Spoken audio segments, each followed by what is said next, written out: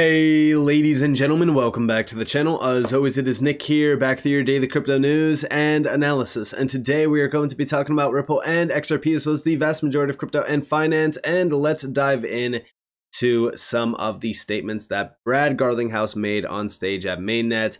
Uh, this is, of course, with Stuart Alderoty right next to him.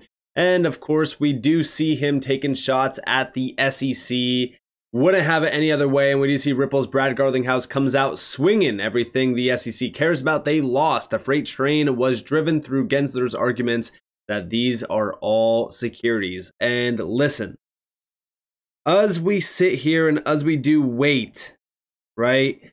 We are waiting for the big day to emerge where we actually have regulations around crypto. And I do think that's getting there, right? Every single day that goes by, we are getting closer and closer. Um, a lot of people believe that there's already regulations there. They are just waiting for them to fully go live once all the traditional players are set up. They have their you know systems to go. Um, we don't know, right? We could speculate all day on that. But one thing to me that is sure is that they are gearing up. They are getting ready. And I think that the the losses around the SEC that have been piling up recently are taking a lot of weight um, off of the SEC's name and what they really kind of bring to the space because I think everyone now looks at them as pretty much a clown show, right? And for the longest time, I think that a lot of people were kind of concerned about what the SEC was doing, at least back in 2021.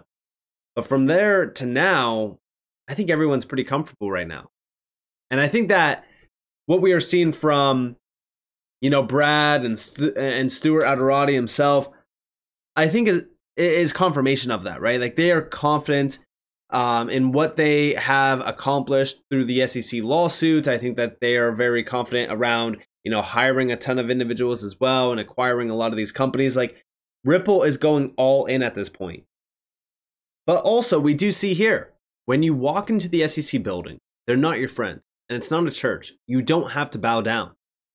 Again, just more confirmation that you know they are very confident they're very confident now.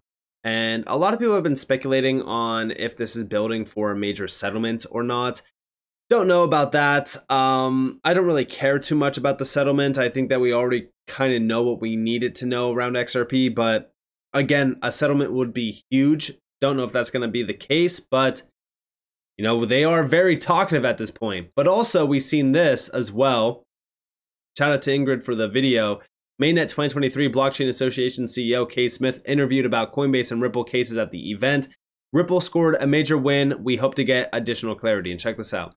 What's your thought on the recent SEC court um, losses? I mean, you'll be talking about this on the main stage today. And what yeah. are your thoughts on the Coinbase case? Yeah, no, I'm really excited. I'm going to be sitting down uh, here at Mainnet today with Paul Grewal, who is the chief legal officer of Coinbase. But, you know, it's very interesting because as Congress is working through this legislative gap uh, or this filling the legislative gap, we've seen regulatory agencies try to test the limits of the law by using a regulation by enforcement approach. And so they're doing these cases.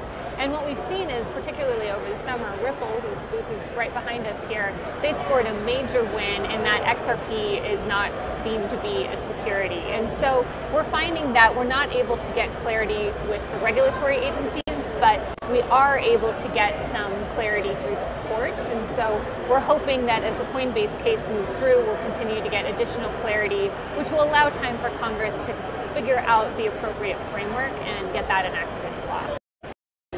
So, yeah, I mean, we are getting clarity through the courts, but we hope to not have to go to court um, in order to get that clarity. And I just recently made a video talking about a lot of the political problems with crypto as well. And you know why this this is not an easy fight because there's a lot of corruption at hand, especially around a lot of these you know major lawsuits and cases happening around crypto. Uh, we hope for a day very soon where we don't need to worry about that anymore, and we actually do have clarity for the space and um, you know proper regulations. Also, shout out to Crypto Eddie. Uh, it seems as though a lot of the companies that were tied to Ripple are expanding their services and becoming major key players. So we do see Asia banking changing fast. 2019 Union Bank, PH, and Ripple partner to power a wallet with XRP on demand liquidity. 2022 Union Bank went live on Metaco for crypto services. Today, they became the first universal bank to secure a license to operate as a virtual asset service provider. So, this is why it's so big to focus on a lot of the partnerships uh, with Ripple, right? Because you know, even though initially you you have things happening around like on-demand liquidity, they also expand beyond that as well. Um, it's a domino effect. Uh, a lot of the players that are tied to Ripple that aren't utilizing XRP right now, in my opinion, will soon utilize XRP powered on-demand liquidity. Why? It makes sense. Um, I've addressed this as well, and it's it's truly that domino effect of you know if they do partner with one player and they have you know 100 plus um, players on their network well guess what? Now ripple just tapped into all of the the clients that are utilizing that service as well. Like that's why i focus on the partnerships. And this is a great one to look at um, as they do expand their services and you know even beyond ripple with Metaco which we do know ripple did acquire. It's great to see. And um, also we do see a video getting posted by Riz XRP. I'm pretty sure that this is a, a dated video, but it's still a great video because it is gold. We do see fixed supply, increase in demand. You don't have to go to MIT to know what's going to happen. Just had to get that in there. Anyway, the, the, point I'm making is simply there is, you know, there is relatively speaking, leaving forks aside, there's relatively speaking fixed supply, and you have increasing demand. And when endowments and institutions, you know, Joey and I sat in a meeting not that long ago with, you know, some of the, the, largest institutional money in the world trying to get smart about crypto. They owned zero on that day. I don't know if they do today. But as they enter the market, you have fixed supply, increasing demand. You don't have to go to MIT to know what's going to happen. I, I did not go to MIT, just the record, but. But yeah, I mean, as we really kind of look at this, the demand around digital assets right now is growing, whether it be XRP or not.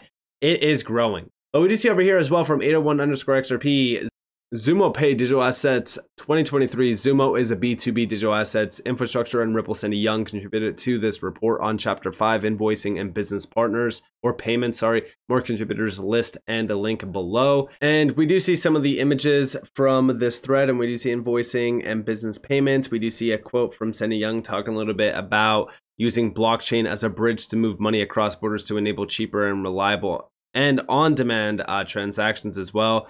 Uh, very interesting quote there. We also do see a few uh, things around digital assets, CBDC, stablecoins, cryptocurrencies, things like that.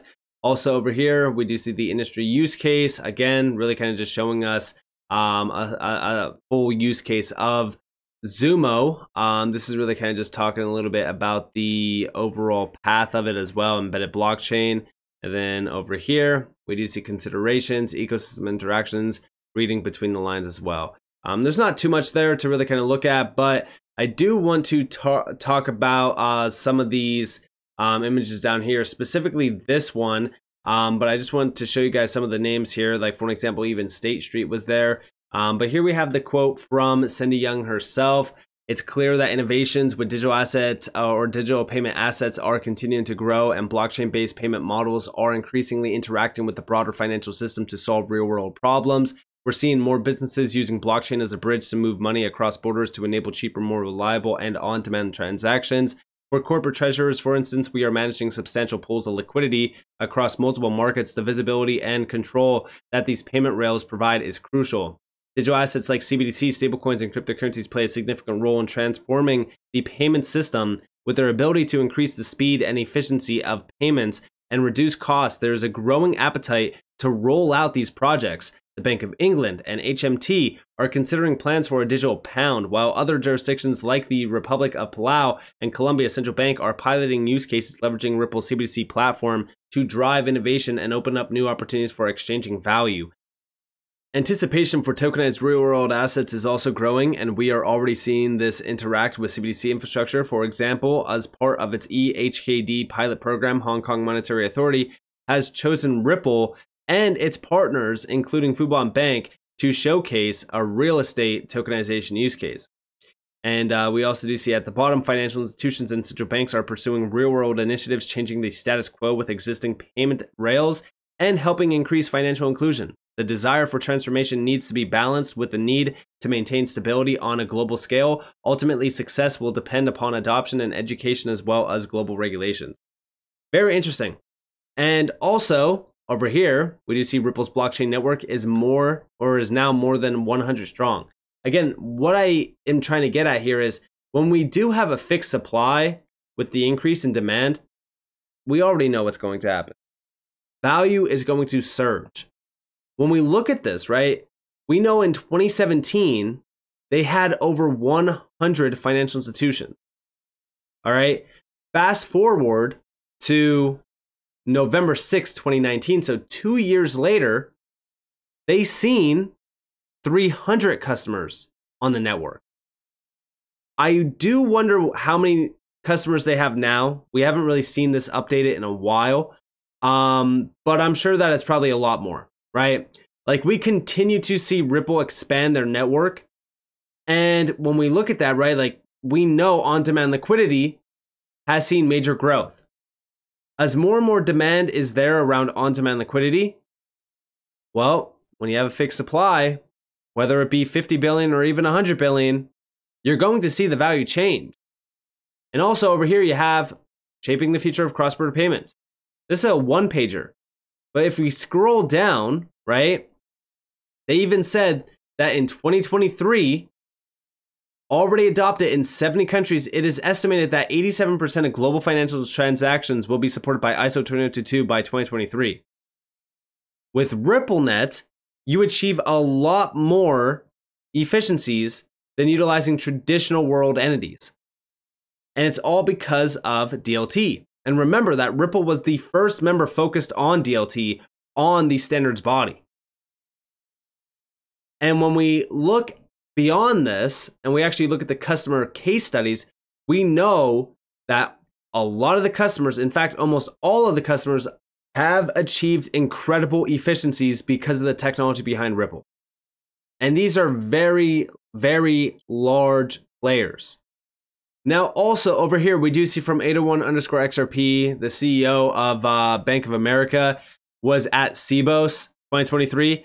Check out this quick video, and I want to expand upon this real quick, and then I'm gonna, going to wrap up the video. Listen closely. Let's talk about uh, collaboration because here at Sibos there's going to be a lot of, of, opportunity, hopefully, for collaboration. Can you talk about how financial institutions are working together to make that payment system better? Yeah, and so I think you, you heard some of the dialogue uh, earlier, but I think in the end of the day, with all the stuff that's going on out there, the cybersecurity uh, uh, question that was raised earlier, the need for frictionless payments, the need for speed, the need to connect uh, uh payment systems that weren't necessarily connected. You know, these are the things that we need to do, and collaboration, collaboration among participants allows us to let that happen. And it, you know, when we think about whether it's real time in the U.S. and development of that, whether it's you know, the need to um, you know to send the messaging and, and the ISO 20, 020, whatever it is, uh, it, I had know, to need one. to get that all right and stuff. yeah, these are just things. No, no company. Even if you could do it on your own, it's worthless to do it on your own because then you're standing outstanding by yourself. And so if you think about something as simple as uh, you know, Visa, Visa was a Bank of America credit card called Bank of America credit card originally, and it was given to the industry to democratize it through the industry to make it effective. It was never going to be effective as a single per- bank's uh, uh, thing. And so these collaborations are critically important. And the ability to, to learn from each other, the ability to en- enhance each other's understanding, the ability to connect the diverse economies, the you know, 200 or so countries in the world, and, and make sure the payment system works for you know, all different profiles of companies, uh, the largest and most sophisticated and the most rural and small in, in developing uh, economies, all that is critically important. And if you don't have organizations like a SWIFT, it just isn't going to happen. And, and that's where you know, the collaboration is so critical. And what's encouraging when 8,000 people plus show up in uh, Toronto, Canada for a week to exchange ideas and information and, and learn from each other, you know, that shows our industry is actually trying to tackle this basic question, which is how do we make the world's economies function better and function, frankly, it's also UN General Assembly Week, function along the Sustainable Development Goals, providing uh, uh, development growth that is fair to all societies. Therefore, it will go on with much more vigor. And I think that's a great place to leave it. I'm sure many here will be contemplating that and having those conversations here at Sibos. Brian Moynihan, the CEO of Bank of America, thanks so much for your time. So yeah, I mean, when we really kind of look at what he said there, to really kind of analyze what he's addressing, he's saying like the space is evolving, right? And when we look at that, it's going to be through collaboration.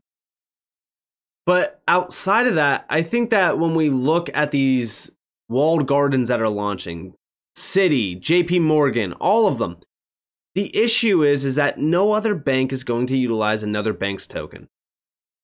And that's where this video comes into clutch, right? What he's talking about is a decentralized currency being the ruler of all of them. Listen closely to this. Digital movement of money. One half of the money moved by consumers today at Bank of America today is moved digitally. One half. This is not something new. When you get to an anonymous currency, that's a different question. And that's a policy question of whether we want an anonymous currency out there of size and scale and scope. And that's what the you start to see people struggle. Do you think we do? Do you think we want I, it? I, I, don't think you want it. I think the reason why the $100 bill was the largest denomination of bills was to make money more difficult to move other than through a verifiable system. Mm-hmm. And I think that is a lesson a lot of economies have learned over time as they brought their denominations down to improve the transparency of the economy, the ability to track it, the ability to find the money, the ability to have it come through in that huge AML and KYC work we do and the industry does. And it helps you find all kinds of interesting things, and, and that's important for law enforcement and other types of things. So it, I think that that's not good. The speculation, I'll let other people reflect on it. You're seeing great debates on it. But I, I, think, you know, the idea of digitizing money is not new. The wire system is a digital transfer mm-hmm. system. The ACH system.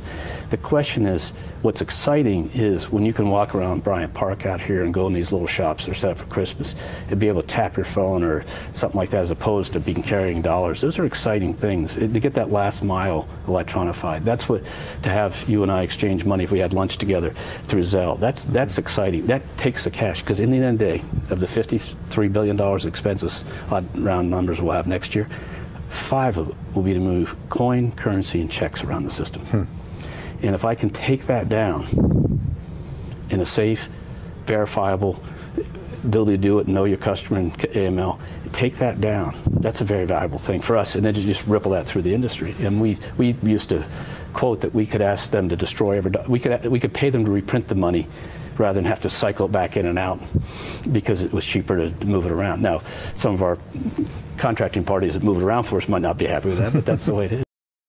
So yeah, when you know, he's talking here. He's kind of giving us a, a, a, few hints, but at the end of the day, we know, right? Like, we know that Bank of America had set its sights already on Ripple.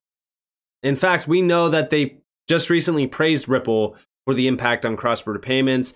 Uh, we know that Ripple said that, or uh, Bank of America said that they would love to utilize XRP once all of the uncertainty is out of the question. I still think that they're kind of waiting for uh, Ripple themselves to get uh, the win in the lawsuit outside of XRP. Um, but everything that we see, everything that we see going on in this industry, specifically around payments and how, how can we move money the fastest, it really kind of goes back to the decentralization aspect and it's not going to be Bitcoin, right? Bitcoin has failed in its overall agenda. Um, the whole idea of like anonymous money is ridiculous. It's not going to be massively adopted. It's not going to be massively accepted. Um, KYC is going to have to be there. Things are going to have to be in place. But at the end of the day, like XRP is one of the best opportunities in the space um, around you know connecting the world and ultimately bridging money and moving money and settling money in the fastest way possible. This is why I say, like, you know, we are at a very interesting moment in time where these major entities want to jumping jump in on the space and harness the power behind a lot of these tokens and uh, these payment systems. And I think that what Ripple has created with RippleNet is very exciting because it embraces what XRP is and um, utilizes it in a way that can ultimately disrupt and change the game entirely. So with that being said, I hope that you guys enjoyed this video. If you guys did, definitely leave a like, subscribe to notifications on because more free content. You guys are more welcome to follow me on Twitter and join the free Discord in the description below. And with that being said, guys, it's been Nick. Peace out.